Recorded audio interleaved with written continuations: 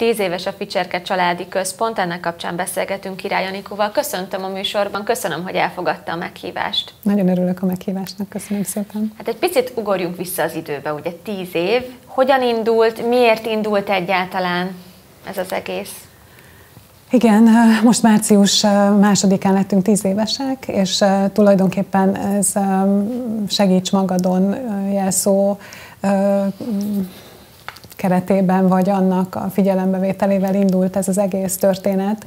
Én nem sokkal azelőtt költöztem ide a kerületbe, hogy hogy megszülettek a gyermekeink, és egy teljesen új beköltözőként szinte senkit nem ismertem, sem a környékünkön, sem itt a kertvárosi övezetben, és próbáltam találni magamnak társaságot, hasonszörű kismamákat, és azt gondoltam, hogy ez egy hiánypótló hely és szolgáltatás lehet, ahol összejöhetnek a kisgyerekes családok, szülők, beszélgethetünk egymással, megoszthat, megoszthatjuk egymással az örömeinket, a nehézségeinket, és emellé társult ugye a napközbeni gyerekfelügyelet, ami akkor az induláskor családi napközi volt.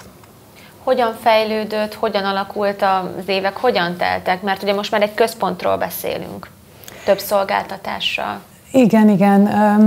Mindig cél volt az, hogy hogy, hogy a minket megtaláló családoknak, szülőknek az igényeire, az ő képükre formáljuk ezt az egész Ficserke nevű történetet. Volt nálunk ringató, ahol ugye a, a, a szülők, anyukák, apukák a gyerekekkel együtt tudtak eljönni délelőtt énekelni. Szerveztünk tanfolyamokat, akár a mesopedagógiai foglalkozásokra, gondolunk akár a pszichológussal való közös beszélgetésekre, ahol mindig a minket foglalkoztató témákat dobtuk be a köztudatba, és ezekre próbáltunk megoldásokat találni. Aztán ahogy egyre nőttek a gyerekek, és már óvodába mentek, meg, meg iskolába. Szintén egy szülői igény volt, hogy a nyári szünetben szeretnék, hogyha ha mi vigyáznánk a gyerekekre, hiszen minket ismernek, megbíznak bennünk.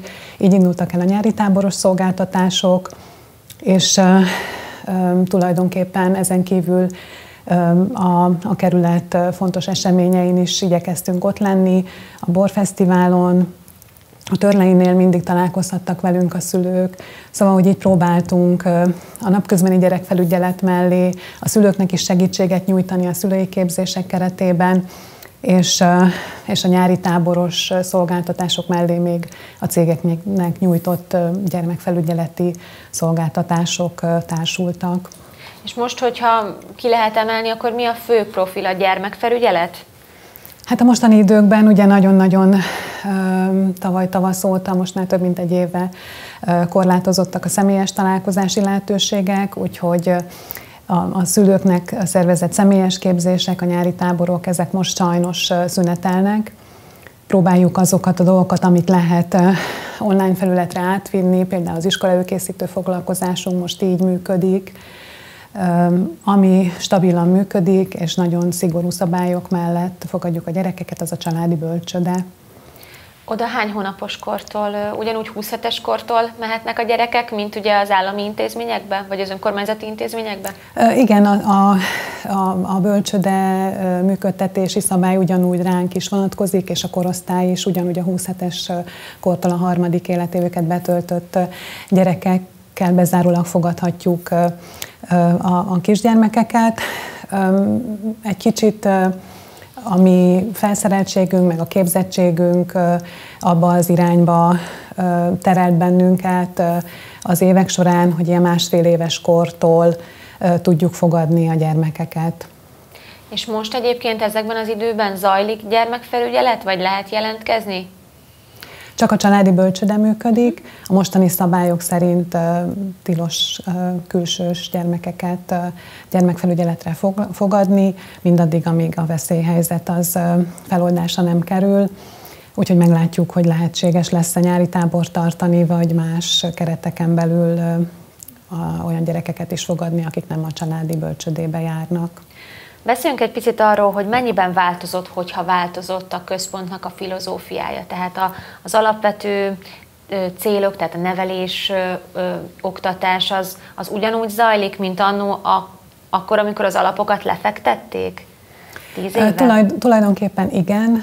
Kezdetektől fogva Mária Montessori pedagógiája az, ami meghatározza a működésünket, az ő elvei mentén próbáljuk szervezni a gyerekekkel való mindennapos foglalkozást.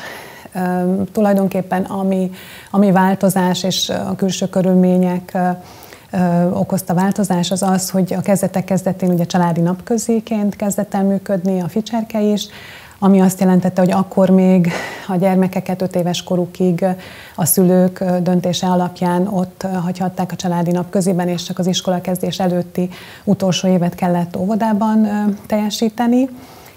Most 2017. januárja óta a törvény módosult, és ezek a családi napközi szolgáltatások most már családi bölcsödeként működnek, tehát három éves koruk betöltése után az adott évben, amikor a harmadik életőket betöltötték, a gyerekek szeptember 1-től óvoda kötelesek, tehát óvodába kell menniük, így aztán három éves kor fölötti gyerekeket nem nagyon tudunk már is tápolni, ami azért korábban egy nagyon-nagyon hálás és nagyon jó feladat volt, hogy éveken keresztül látni, hogy hozzánk érkező, nem tudom, másfél-két éves gyerkőc öt éves korára hová jut el.